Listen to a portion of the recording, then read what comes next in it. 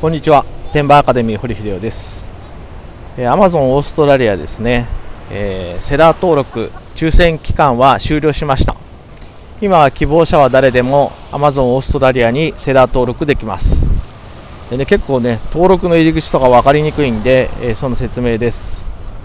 まず amazon.com.au のね、えー画面を表示してセルっていう、え項目あります。そこをクリックします。そうするとこのレジスター Now というとこ出てきますんでね。レジスター Now をクリックしてください。そうするとログイン画面になります。でこのログインの時に、えーメールアドレスとパスワード当然まだ登録してないんでないんでね。この下の、えー Amazon アカウントを作成というところをね、えークリックして登録を開始してください。